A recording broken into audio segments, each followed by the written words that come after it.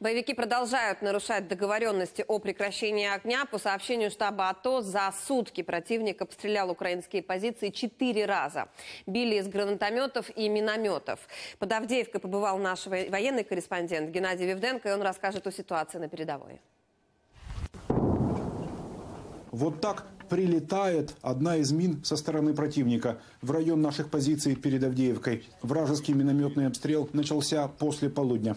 Средь бела дня начался обстрел минометный э, наших позиций, которые находятся в глубине, нарушение минских домовленностей. Особовый склад получил команду, ушел в укрытие. Работает батарея противника, миномет 82 мм. Вот сейчас в течение 15 минут. Три выхода было. Три выхода и три прихода. Боевики обстреливали наши позиции накануне, бьют и сейчас с интервалом 10-30 минут, пока украинские солдаты только фиксируют время открытия огня из вражеских гранатометов, ствольной артиллерии, пулеметов. Отмечают на картах огневые точки противника. начинают провоцировать все более и более, так, я так понимаю, к концу перемирия время заканчивается. Ну, мы готовы к работе вот в этом направлении. Вот, в частности, тоже результат работы огня оккупационных войск. Деревья обуглились, посечены будто косой. Интенсивность огня сейчас, конечно, немного снизилась, однако не прекратилась вовсе.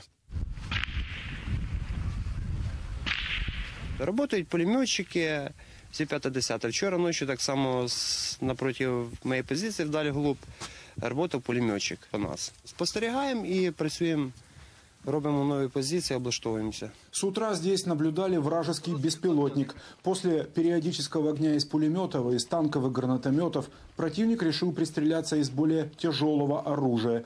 Пока нашим способствует погода. Плохая видимость затрудняет работу вражеской артиллерии. Сейчас снег пошел, туман. Он буквально сейчас будет прояснение. Они могут вполне запустить обратно беспилотник, посмотреть, попали, еще не попали. Ну, То есть уже будет конкретно м, видно. Ну, видите, затянуло сейчас пока надолго. Это хорошо. Это хорошо. После того, как отработает артиллерия, враг пытается подойти ближе к украинским позициям небольшими группами по 2-3 человека, чтобы оценить нашу готовность к обороне. Украинский десантник очищает от привычной окопной грязи ленту крупнокалиберного пулемета. Чистимо ленту для ДШК. Готуємося до вечора. Бурних ночей. Це може бути Вечором? Агресія со сторони противника. Геннадий Вивденко, Евгений Пахальчук и Игорь Щепет. Подробности телеканал Интер из Донецкой области.